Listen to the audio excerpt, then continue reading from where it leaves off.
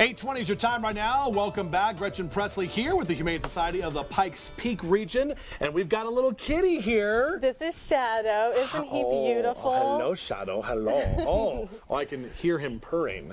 Talk about Shadow. What's the what's his story? He is a four-year-old neutered male. As Okay. you can see, beautiful gray long hair. He was surrendered because the woman's son got sick and she didn't have time to take care of him anymore. Oh Very sad. no, that is that's that, is Yes. that is really sad. But you can see a, a furry critter and a mm-hmm. very long tail too. This Yeah. tail's been kind of whipping around all morning long. You can see. Look at this thing. I know. Can I, can I play with your tail? Has just got a beautiful fur coat. Very soft too. Was I would agree totally. Now, what's the uh, adoption fee if you want to adopt Shadow? He is $48, Okay. and that includes the usual voucher for a veterinary exam, vaccinations, 45 days of pet health insurance, and a microchip. And this guy, he's a little, you know, wants to explore right now, but he's so mellow, such a good boy. Didn't even Oh, cry at in that. the car. That is a good-looking picture right there. beautiful guy. Loves people, Sh- loves attention. And Shadow's available uh, right now at the Humane Society of the Pikes Peak region. Uh, obviously, something near and dear to my heart. Quickly, you did the the Malamute rescue from that awful Malamute story in Montana, and you guys actually took some of those Malamutes in. Yes, we had the six Malamutes. Two of them got adopted on Friday.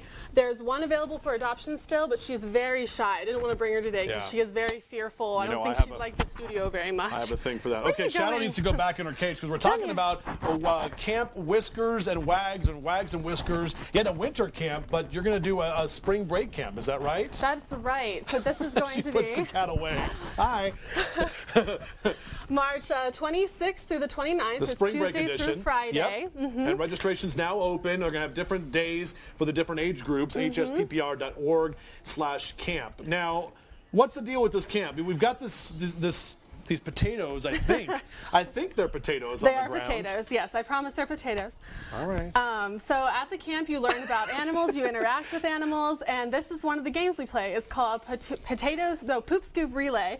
We use potatoes. The guys are in teams, and they have to pick up the potatoes as fast as possible. so I've got to try to do this Yes. in, in a short amount of time. yes, you have to pick up the potatoes Oh one by one as fast as possible and put them back in this bag. All right. Oh, the music's on now. Okay, so I've got to. This is easy. I can scoop this stuff up, right? Here we go. Got another one over here. Got another one over here. And then I've got to try to put them in this bag. I should have brought bigger bags. Oh my bad. I like that, and I like that these are clean. These are clean poops These too. are So. only used for potatoes. Oh, okay. Only potatoes. Yes. All right. Don't look at my butt. Don't look, stop looking at my butt, everybody. I know common old foxy moms want that, but all right. There we go. More potatoes. Two more. Two more. And, and kids have to do this. They actually have to scoop it up. Yes, And- this and- teaches them to responsible pet ownership.